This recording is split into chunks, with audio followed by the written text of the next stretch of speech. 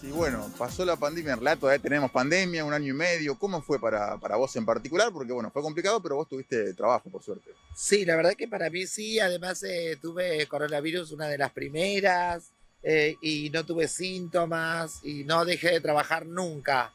Eh, bueno, obviamente que afectó como a todo el mundo, pero porque tengo mucha gente que, que familiares que, que no pudieron trabajar y esas cosas, pero eh, no, la verdad que bien dentro de todo. Con mucho trabajo, ¿cuál es la, la clave por ahí? Porque bueno, estás en radio, estás en tele. Sí, la clave no la, no la sé, pero, pero la verdad que sí, por suerte siempre muchas propuestas, mucho trabajo, así que bárbaro. Bueno, el teatro por supuesto no, porque no se puede, pero también estaba haciendo teatro, los bonobos, así que cuando se pueda volveremos, si Dios quiere. ¿Qué opinas de, de las restricciones del teatro? Que por ahí hay gente que pide que vuelva. Yo no trabajé en teatro en pandemia, pero la gente que volvió dice que los protocolos son muy buenos y que es donde la gente realmente entra en un orden, sale, no hay como nunca aglomeración, o sea, así que, pero bueno, por algo, no sé, no sé quiénes son los que asesoran, pero yo no me meto mucho en eso. Eh, ¿Cómo manejás el éxito? Porque bueno, tuviste un crecimiento muy bueno, muy grande en poco tiempo también. ¿Cómo lo vas manejando eso? Las críticas por ahí también.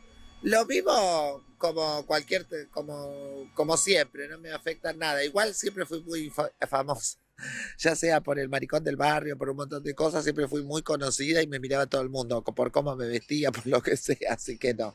La mirada como que del otro mucho no me afecta. A veces las críticas un poco sí, pero tampoco es que me, me desespera. Elisi, en la pandemia para vos fue complicado por ahí lo de Flop y también cómo, cómo lo pasaste, cómo lo viviste, cómo estás hoy. Bueno, la floppy fue un golpe tremendo, sobre todo porque es un- una chica muy joven, eh, muy amigas y también obviamente por su familia, ¿entendés? Su mamá, su mamá no, no la había visto desde que se había agarrado coronavirus. Son momentos angustiantes, pero la verdad que despedir a gente en estas situaciones es tremendo. En todas las situaciones, pero particularmente como dejarla sola, como qué sé yo, fue raro. Hay gente que por ahí no sabe, pero para vos era como una hermana, digamos. Sí, sí, muy importante, una persona muy, muy importante en mi vida. Lizzy, ¿cómo fue el amor en pandemia para vos?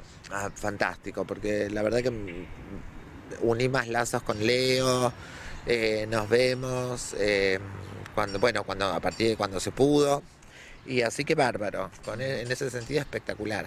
¿Qué, qué planes tienen a futuro? Y eh, teníamos ganas de casarnos y justo después vino la pandemia.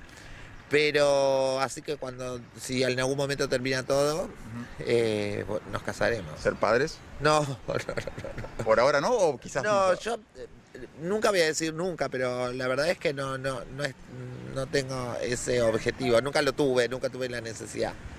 Lizzy, gracias y éxitos también para, para todo este año y que sea con mucho trabajo. Bueno, muchas gracias. Un beso para todos. Chao.